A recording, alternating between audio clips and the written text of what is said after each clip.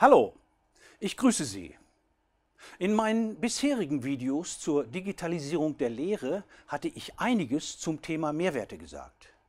Ich habe neue Kursformate vorgestellt und habe begründet, warum zum Beispiel eine einfache Anreicherung der Lehre mit digitalen Elementen nicht zielführend ist. Nun möchte ich zeigen, wie die Digitalisierung der Lehre konkret umzusetzen ist. Das heißt, wie digitale Elemente und Szenarien für das Lehren und Lernen nutzbar gemacht werden. Je nach Verortung der Lehre stehen uns dazu zahlreiche digitale Elemente zur Verfügung. Hörsaaltechnologien wie zum Beispiel das interaktive Whiteboard oder allseits bekannte Präsentationsprogramme oder Softwarepakete zur Erzeugung digitaler Texte, multimedialer Anwendungen oder Lehrvideos. Unabhängig von der Verortung der Lehre gibt es eine Reihe von Szenarien, die zusätzlich eingesetzt werden können. So lassen sich kollaborative Szenarien sowohl im Hörsaal per Gruppenarbeit wie auch außerhalb über die sozialen Netzwerke nutzen. Gleiches gilt für die übrigen Szenarien.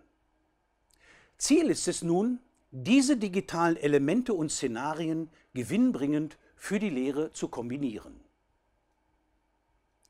Gemäß dem Drei-Stufen-Modell, das wir ja bereits kennen, ist dabei die Stufe der Integration anzustreben, auf der die digitalen Elemente unverzichtbarer Bestandteil der Lehre werden und die gesamte Inhaltsvermittlung digital erfolgt. Ein Inverted Classroom Model also. In diesem Modell erfolgt die Inhaltsvermittlung außerhalb und die Inhaltsvertiefung im Hörsaal. Und es werden zum Beispiel folgende Elemente und Szenarien benötigt. Spezielle Lehrvideos, umrahmt von digitalen Texten und digitalen Tests.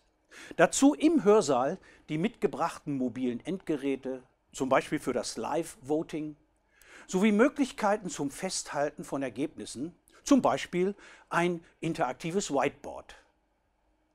Szenen wie Kollaboration, zum Beispiel über Google Docs und die Nutzung offener Bildungsmaterialien sind zudem wesentliche Bestandteile dieses Lehrformats. Doch wie bekommen wir das alles zusammen? Eins ist klar, nicht durch Reden, sondern durch Machen. Die Zeit der jahrelangen Rhetorik muss endlich aufhören. Digitalisierung ist machbar, nicht erst seit heute. Denn die Infrastrukturen, die stehen. Die Mediennutzung durch unsere Studierenden ist vielfältig, bisher aber hauptsächlich im privaten Bereich, wie diese Studie hier gezeigt hat. Die Konzentration auf Lehre ist dank immer besserer und vielfältiger werdender OER-Materialien möglich. Tja, und die Mehrwerte sind bekannt. Warum also warten? Gehen wir es an. In sechs Schritten möchte ich Ihnen nun zeigen, wie es geht. Hier sehen Sie die Schritte per Schlagwort. Als erstes sollte man eine Lehrveranstaltung auswählen, die ein hohes Standardisierungspotenzial besitzt, die curricular verankert ist und oft angeboten wird. In meinem Fach sind das Grundlagenkurse wie Introduction to Linguistics, die mittlerweile bei uns ja auch als Permanent MOOCs angeboten werden und bei denen es viele Inhalte gibt, die immer wieder aufgegriffen werden und Grundlage des Linguistikstudiums sind. In nahezu allen Fächern gibt es ähnliche Lehrveranstaltungen, einige davon sind zudem in mehreren Studiengängen verwendbar. Da es uns nicht gelingen wird, in kurzer Zeit eine komplette Lehrveranstaltung zu invertieren, wählen wir zweckmäßigerweise eine einzelne Lerneinheit aus, von der wir wissen, dass deren Inhalt in hohem Maße standardisiert und möglicherweise auch kursübergreifend verwendbar ist. In meinem Kurs ist das die Lerneinheit Language and Linguistics diese enthält grundlegende Informationen zum Thema, das im Vergleich zu klassischen Vermittlungsformen im Hörsaal mit digitalen Elementen sogar besser vermittelt werden kann.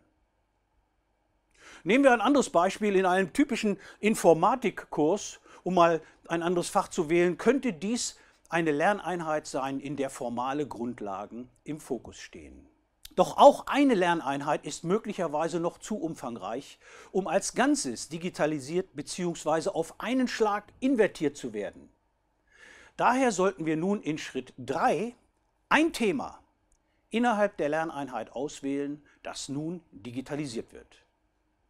In der Lerneinheit Language and Linguistics bietet sich der Inhalt Animal Communication an, da hier gezeigt werden soll, wie Tiere miteinander kommunizieren, mithin ein multimedial sicherlich gut zu vermittelndes Thema, ein Thema, das im Hörsaal viel schwieriger zu vermitteln ist.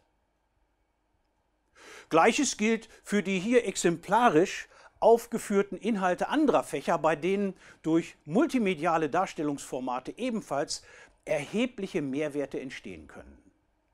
Nach der Vorauswahl können wir mit der eigentlichen Digitalisierung in Schritt 4 beginnen. Doch wie soll das gehen?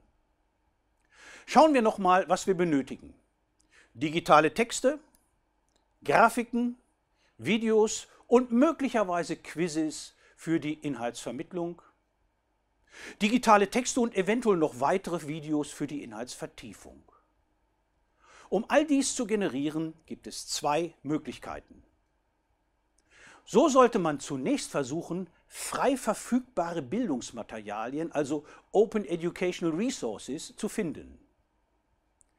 So findet man zum Beispiel unter dem Suchbegriff Animal Communication and Linguistics mehr als 500 Bilder, mehr als 1000 Webseiten und fast 900 Videos zur Wiederverwendung in der Creative Commons Lizenz im Internet. Wie man an solche Materialien kommt, das zeige ich im Detail in einem anderen Video. Damit aber die Nutzung von Fremdmaterialien klappt, müssen wir gerade im deutschsprachigen Raum erhebliche Barrieren überwinden, denn viele Lehrende haben große Probleme bei der Nutzung von Open Educational Resources. Die Alternative? Wir müssen die Materialien selbst erstellen. In unserem Fall haben wir uns für einen Mix aus selbst erstellten und frei verfügbaren Materialien entschieden. Nun bleibt noch eine Frage. Wohin mit den digitalen Elementen? Ganz einfach, auf eine hochschuleigene Lernplattform oder direkt ins Internet. Ich werde die Vor- und Nachteile in einem anderen Video wieder aufgreifen. Und was nun, wenn die ausgewählten Inhalte digitalisiert sind? Dann sollte man einmal überlegen, wie viel Präsenzzeit man nun einspart. Fünf Minuten? Zehn Minuten oder gar 20?